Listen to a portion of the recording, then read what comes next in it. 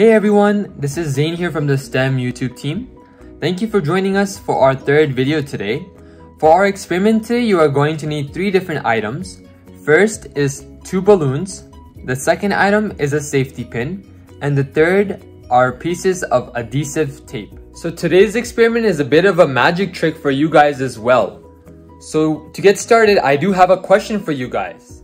Which of these balloons do you think will pop first when I try popping them with the safety pin here?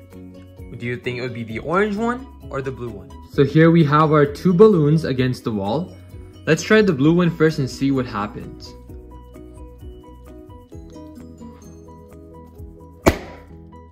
It popped.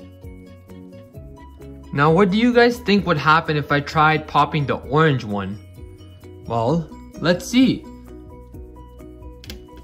So the blue balloon popped first, whereas the orange balloon did not pop at all. Whereas for the blue balloon, since there was no seal or tape on it, air could flow very easily out of the balloon, which caused the balloon to pop instantly after I tried popping it with the pin. So the reason why the orange balloon did not pop at all is because the tape acted as a seal so when we tried using the needle to pop the orange balloon, the tape prevented air from leaving the balloon. So thank you guys for coming and, and watching our STEM video today. I hope you guys are able to show your families what you guys have learned and how the seal can prevent a balloon from popping.